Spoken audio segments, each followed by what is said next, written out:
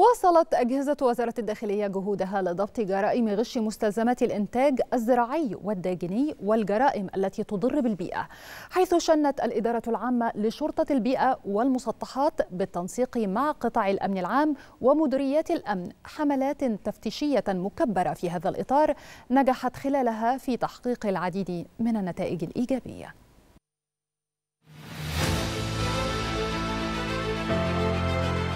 تواصل أجهزة وزارة الداخلية جهودها للتصدي لكافة الجرائم التي تضر بالبيئة والصحة العامة والإنتاج الزراعي والحيواني. فقد شنت الإدارة العامة لشرطة البيئة والمسطحات عدة حملات أمنية في هذا الإطار بالتنسيق مع قطاع الأمن العام ومديريات الأمن. أسفرت عن ضبط ثلاث شركات للمواد الغذائية ومطعم بدون ترخيص بالقاهرة. بداخلهم أكثر من عشرة أطنان مواد غذائية. ولحوم ودواجن مجهولة المصدر. كما أسفرت الحملات الأمنية عن ضبط أكثر من 19 طن لحوم ودواجن غير صالحة للاستهلاك الآدمي ومنها ما هو مجهول المصدر. داخل شركتين وثلاثة مصانع بدون ترخيص للمواد الغذائية بالقاهرة.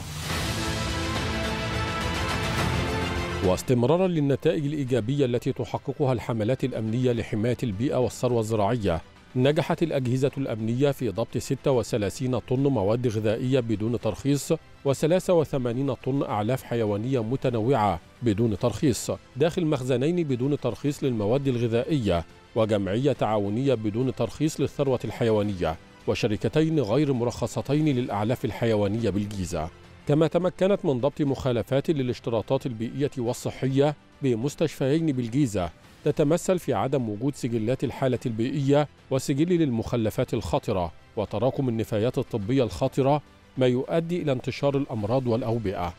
كما نجحت في ضبط مصنع بدون ترخيص لإنتاج المواد الكيماوية المعالجة لمياه الصرف الصحي والصناعي بالجيزة حيث تم ضبط ستة أطنان مواد خام سائلة مجهولة المصدر و49 طن منتج نهائي معالج لمياه الصرف الصحي مخالف للمعايير الصحية والبيئية. واستمرارا للحملات الأمنية بالجيزة. تمكنت الأجهزة الأمنية من ضبط مصنع بدون ترخيص لإنتاج وتعبئة المنظفات والمطهرات المنزلية بداخله 28 طن ونصف مواد خام سائلة ومنتج نهائي لمنظفات منزلية مجهولة المصدر ومنسوب إنتاجها لشركات وهمية.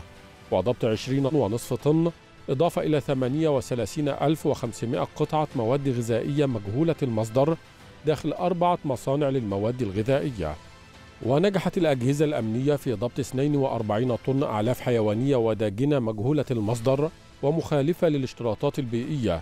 داخل مخزن بدون ترخيص لتخزين والإتجار في الأعلاف الحيوانية والداجنة بالقليوبية. وضبط 52 طن ونصف مخللات ومستلزمات إنتاجها مجهولة المصدر بمصنع بدون ترخيص لإنتاج وتعبئة المخللات بالقليوبية. وبالقليوبية أيضا نجحت الأجهزة الأمنية ومع استمرار حملاتها في ضبط ثلاثة مصانع بدون ترخيص لإعادة تدوير المخلفات البلاستيكية وتعبئة المنظفات الصناعية.